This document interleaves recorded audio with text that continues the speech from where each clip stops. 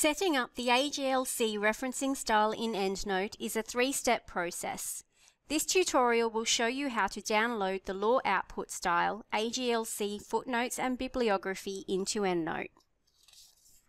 You can access the AGLC3 referencing style via the Law tab in the EndNote guide.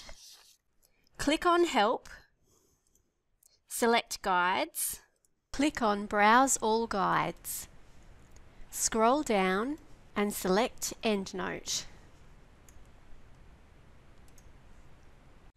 You will notice there are several tabs across the top. Click on the Law tab. You will find the Law Output Style AGLC3 Footnotes and Bibliography file in the Downloads box on the right.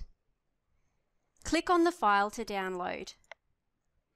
Depending on your operating system and internet browser, you may see a different dialog box. I am using Firefox. This will open the style in your EndNote program.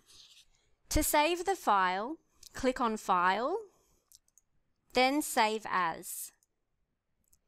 Type AGLC3 into the style name, then click Save. Close the style by clicking on the red cross. The AGLC3 referencing style has now been downloaded into EndNote and is available from the Bibliographic Output Styles box. Click on the drop-down arrow. Click on Select another style.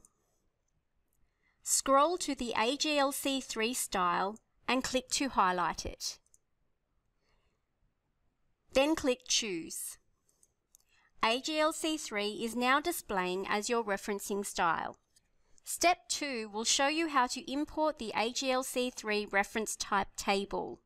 If you need further assistance, please contact the library.